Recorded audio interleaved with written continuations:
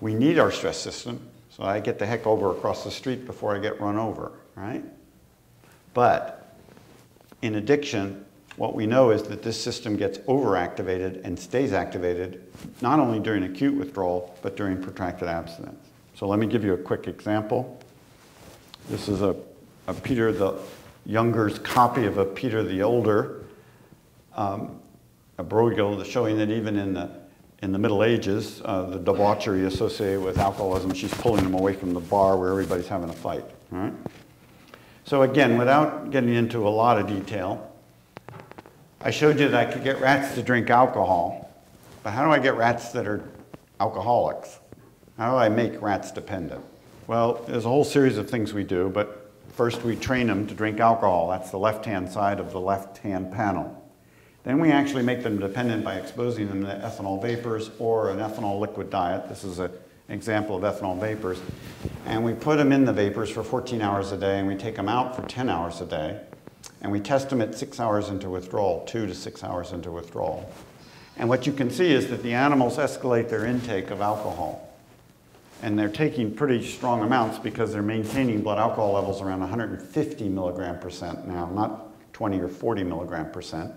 That's about six beers or six glasses of wine, maybe eight.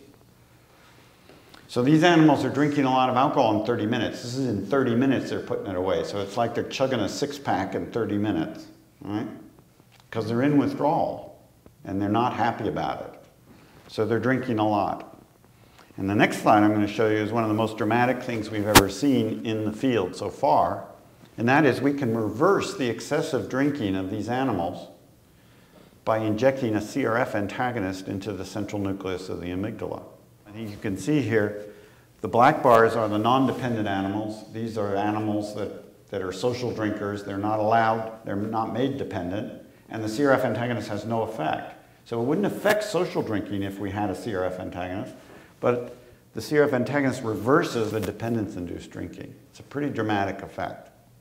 We've seen similar effects recently with a kappa antagonist that blocks the dynorphin system. We're beginning to see a pattern of results with our animal studies that suggest that reversing the brain stress system activation can, in effect, reverse dependence. And just to bring home the, the, the significance of this a little further, if you, uh, if, if you do microdialysis in the animals, during withdrawal and you measure CRF in the amygdala, you see an activation. And I'm not going to go through the slide, but suffice it to say, even marijuana withdrawal raises CRF in the amygdala. What I'm trying to tell you is that a really major component, and this is a simple take-home message here, a really major component of addiction, by no means the only major common component of addiction, but one of the major components of addiction is um, that when you're not dependent, you have a functional reward system that works fine. And your negative reinforcement system, your string brain stress system is relatively quiescent. And that's what this slide shows. When you're dependent, you lose your reward system, the one that's normally active, and you gain the stress system. So you've, you've got a, what I call a double whammy effect. Now, for those of you thinking about, well, how did you get here in the first place? Well, there are multiple ways to get here. One, you could be born this way. And I hate to say it, but what if you're born with low dopamine and high CRF? In effect, you're screwed, right? Now, aren't that many people born that way, and we don't have the genes to, to, to argue that those kind of polymorphisms really exist.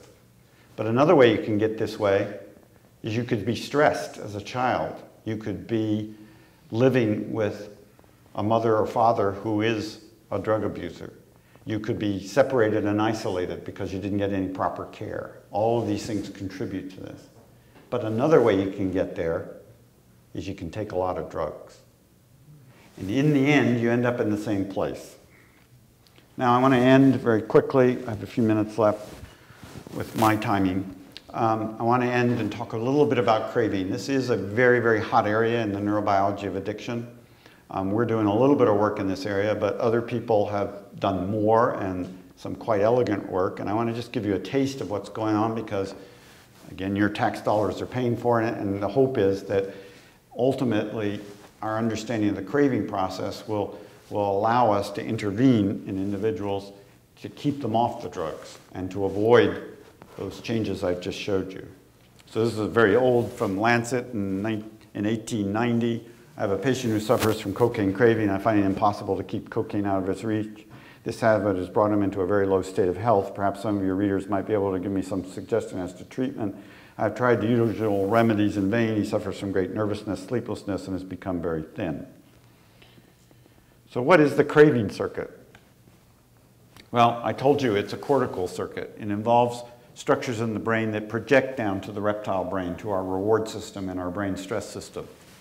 Um, they have different functions, and I can regale you with fascinating stories about what all these brain bits do.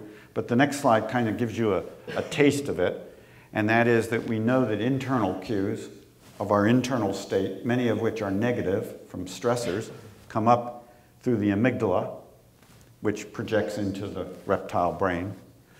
Uh, we, the orbital frontal cortex and uh, prefrontal cortex are heavily involved in evaluating stimuli in the environment, putting them in cognitive context, and making decisions.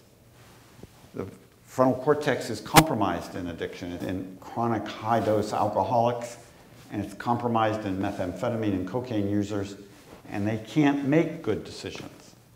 And the decisions they make seem to be heavily weighted toward relapse. And then the hippocampus, and this structure um, probably is involved in context. And so you sometimes wonder how does the person end up back at that bar or back at that dealer? They're not even thinking about it. It's below, you know, kind of consciousness. And that would be hippocampal, perhaps.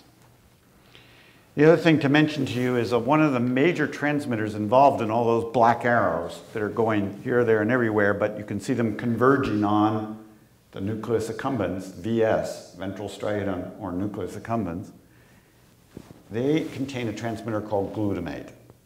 Glutamate's an excitatory transmitter. It's very prevalent in the brain. But one of the things we know in animal models during relapse, glutamate activates dopamine to give it a, you a taste of dopamine, and that contributes to the relapse phenomenon.